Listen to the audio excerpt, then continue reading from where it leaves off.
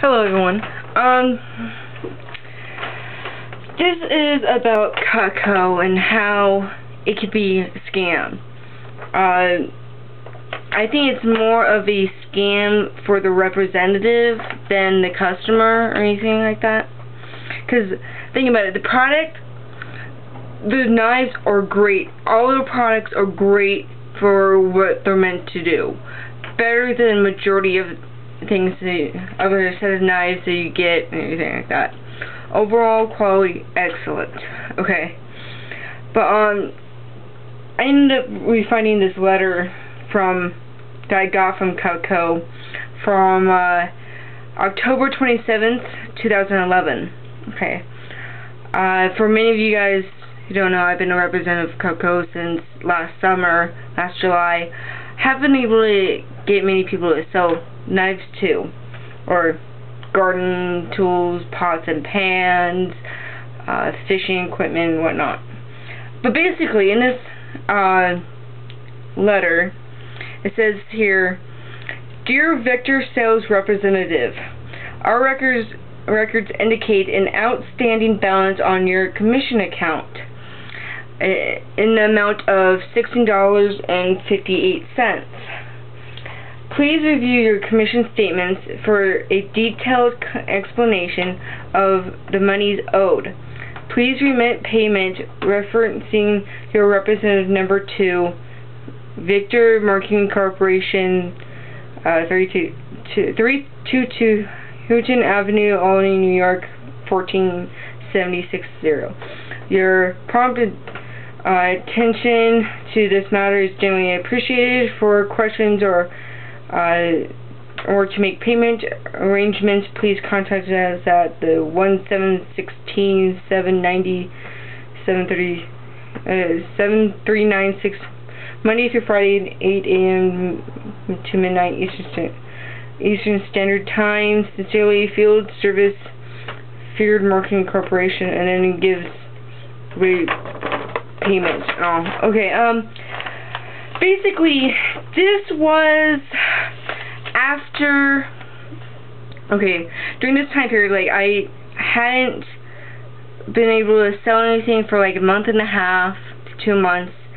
Um, I ended up having a customer on the 1st of October, and then the next, uh, which was a Saturday, and that next Saturday I sold a product. It was a Fisherman Solution, anything. Uh, but the thing is, I didn't get paid from the those two times. Okay. Uh, granted, I didn't sell anything on the 1st of October.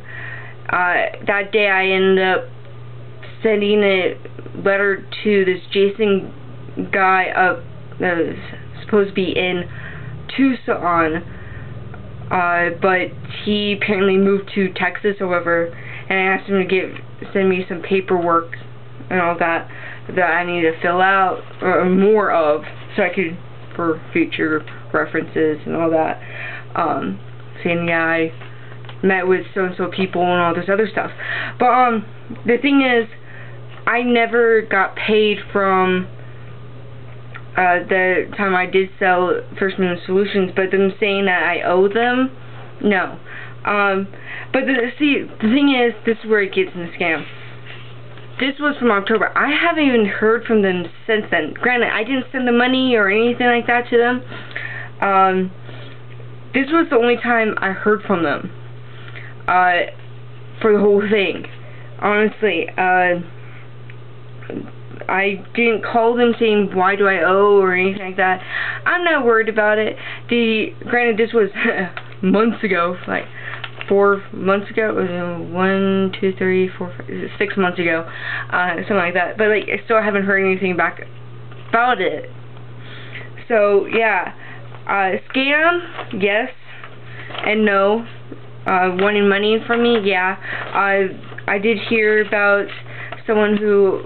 There is a way with this to where you could connect do a whole direct deposit thing with Vector for, instead of them sending you a check and everything. But the thing is, like, I heard that someone did that, a woman did it, and over $800 got taken out of her account from the company.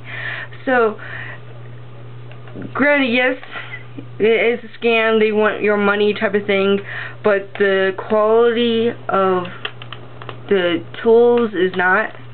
Um, so, and here's another thing.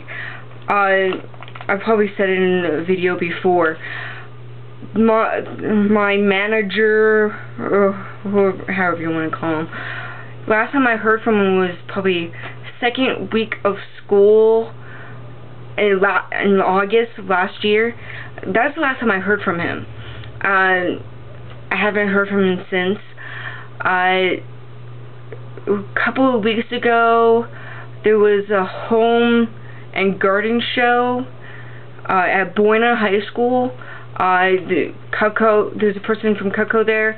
Uh, he, I think he came from Tucson. I gave him my information saying I haven't heard anything. Uh, from I haven't heard anything from my Cameron, my manager. Uh, granted, I didn't make mention of this to him. Uh, but still, I, that was a couple weeks, about three weeks ago. Okay, at least three weeks ago. Still haven't heard anything from him from anyone in Tucson. Now, see, this is my thing. Okay, this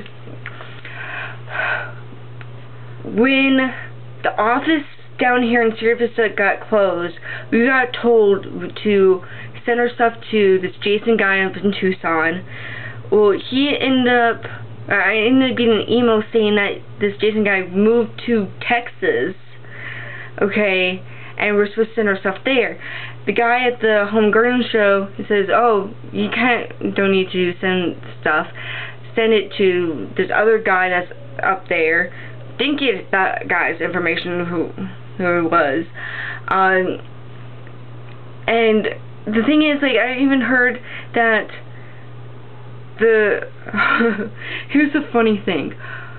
Um, months ago, there's a girl named um shit. Forget her name. This girl I used to associate with. She's now in El Paso. Nicole, that's her name. She, I ended up getting her into Cutco also. But the thing is, like, she ended up telling me that she found out that that supposedly the offices of, in Tucson and Phoenix closed down. I made mention to this to the guy at the home garden show, and he said, no, the officers, uh, officers are still there and everything. Uh, so, my thing is, yeah, for the most part, it is a scam. Working with them is a scam. Uh, and you get fucked over if you're not careful. Honestly, uh, so yeah, shit, I haven't heard anything, but, um, my thing is, if you still want knives, let me know. I got forms. Even if you happen to be living in a different state, I can still fill out the form for you. Um, and all. Uh, my, if you want more information uh, about the stuff, products, my Skype would be, name would be on there. Uh, just send me a message saying, uh, Cutco stuff if you want to talk Cutco. Um, but yeah, I still haven't heard anything. In general, overall, I haven't heard anything from my manager. Uh, he was ended up telling me, and I even told Nicole, yeah, I'll get with you guys once in a while, uh, once a month or whatever to catch up on it. Um, overall, he lives an hour and a half away from me, where I am right now. He has my number. I don't have his number, uh, at least in my phone. Uh, I'm not worried about it. Uh, I still have the knives. Uh, my thing is, if someone watching this is in the corporation of uh, Vector and Cutco and all this stuff, if you, if you guys want the knives back, you gotta have uh, someone get it from me. Because I'm not spending my own money to send the knives to people in New York and everything uh, at all. And I'm really questioning if these knives are American made because Uh, I found out that there's an office in Canada. Uh, there's an office in Australia, uh, and in Europe. So, uh, for those uh, there, you guys gotta come up with something. Okay, give us the truth. Uh, are you really American-made product? Really? I even, uh, I found this out last July. I asked Cameron, I was like, okay, I found out that there's an office in Canada. What's up with that? Like, because it was right after Nicole basically started. Uh, she said, yeah, she found out there was one in Europe.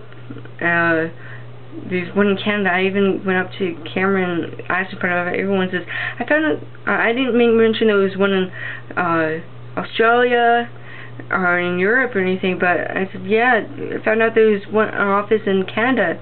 What's up with that? And he said there's no office in Canada. No office at all. It's only American made. All there's no. There's only New York. That's it. New York office. I'm like, mm-hmm bullshit. But yeah, that's the end of the video. That's it. Peace.